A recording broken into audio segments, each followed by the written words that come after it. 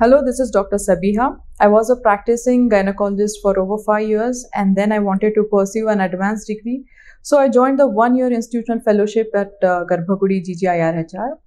Uh, I did a detailed research. I spoke to multiple people and I came to know that uh, the course that is being offered here is pretty comprehensive as well as intensive.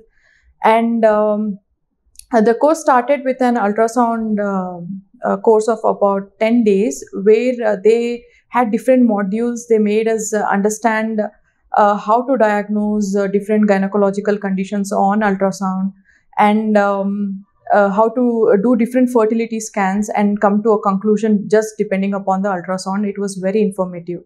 Then uh, it was actually a delight uh, that they had classes every week for almost two days a week, and we have detailed case discussions with all the consultants where we can openly ask our doubts, clear everything out, and uh, come to a broad idea. And we also have journal clubs where we discuss different studies and uh, we get a lot of knowledge there.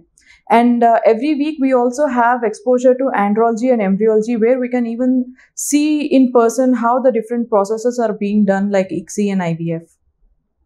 Uh, the journey so far has been pretty smooth and uh, if I had to recommend uh, this to someone, you can definitely go ahead with it. And I would score 10 out of 10 for uh, all the um, uh, for all the aspects that are involved in this course. Thank you.